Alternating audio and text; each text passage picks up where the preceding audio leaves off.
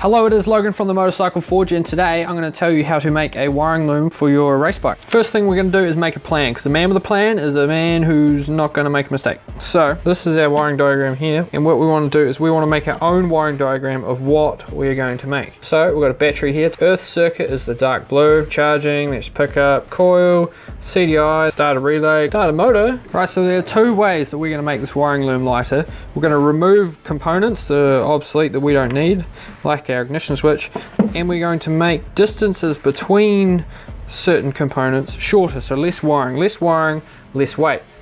We could also turn this into a total loss system so that means we'd be running just be that and there'd be a CDI and a coil kill switch. You want to start with a bike that is not overly complicated. So this is a CDI ignition bike. It's pretty pretty straightforward. Yeah my advice start with something simple now that we've got our plan, first thing we're gonna do is we're going to lay out where everything is gonna go.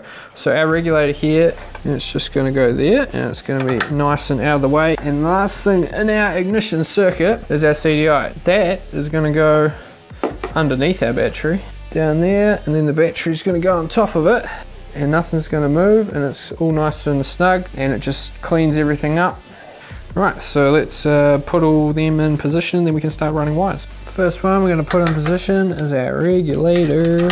The reason I've put the starter relay in this position is because the positive for the battery is coming out this way and this is the positive on our battery. So literally we'll be able to make this wire from there to there and then on the other side the plug here goes to the wiring loom and we've got the regulator rectifier here and we've got the coil and then we've got the wires here for the ignition switch Next we need the connectors for the rest of our components. We're going to pretty much remove all the sheathing off this so we can see the wires. You just got to be super careful. You just cut through the insulation and no more. So now we've got the sheathing off and all the wires we need exposed. We can grab the ones we need. We've got the CDI, the starter system, the charging system and our earth. So we're going to go put them on the bike.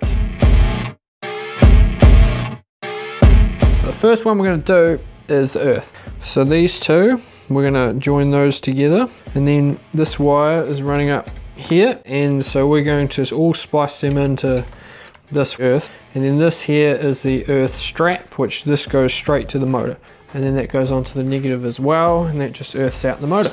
Right, so I am going to do most of the soldering off camera, but I will show you very quickly how to make soldering super easy. So we just use this weak clamp here to hold the two wires in position while we're soldering them. And also don't forget your heat shrink. So all we're to do is put the soldering iron under the wire, add some solder, and Bob's your uncle. Right, so now that we've got one wire done, you just match them up and then we just cut them and solder them.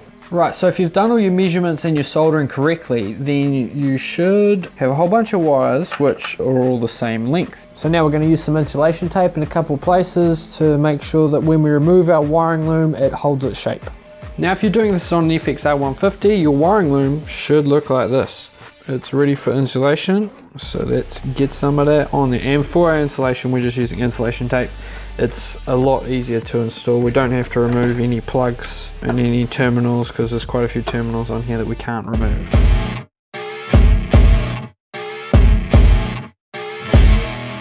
Now that our super light wiring loom is all done and insulated, let's go chuck it back on the bike. Just like that, our wiring loom is on and it fits like a glove see that. The wires go to the coil, go up to the ignition, down there the regulator, and it goes up to our CDI, which is down there, and to our starter relay. Our wiring loom is all plugged in, and we've got all our battery terminals, our regulator, our coil, everything tight. Right, I've rigged it up for a test run. Let's see if she's alive. Ignition switch on, hitting the starter.